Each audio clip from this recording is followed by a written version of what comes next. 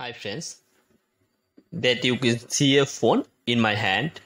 This phone model is Realme C15.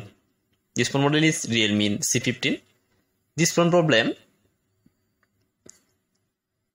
is that battery percentage is not showing the display.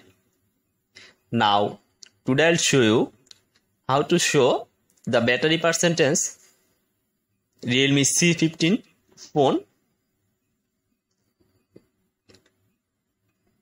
At first I will turn on my phone and then find settings option. So first I have to find the option called settings. When then after finding the settings, I will click on settings and then after going to settings I have an option called search in front of me. And then I have to go to that search and type SHOW show B A T T E R Y show battery percentage.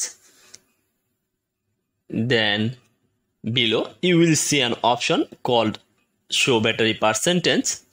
I will click on that show battery percentage and when I will click on the show battery percentage show a new page will appear. And then show show battery percentage on status bar. You can see a new option show battery percentage on status bar. And then I will click on show battery percentage and status bar. And show three option outside the battery icon. When I will click on outside the battery icon this phone battery percentage is showing outside the display. And when I will click on again inside the battery icon show battery percentage this phone display inside so viewers if you want to like this video please subscribe my channel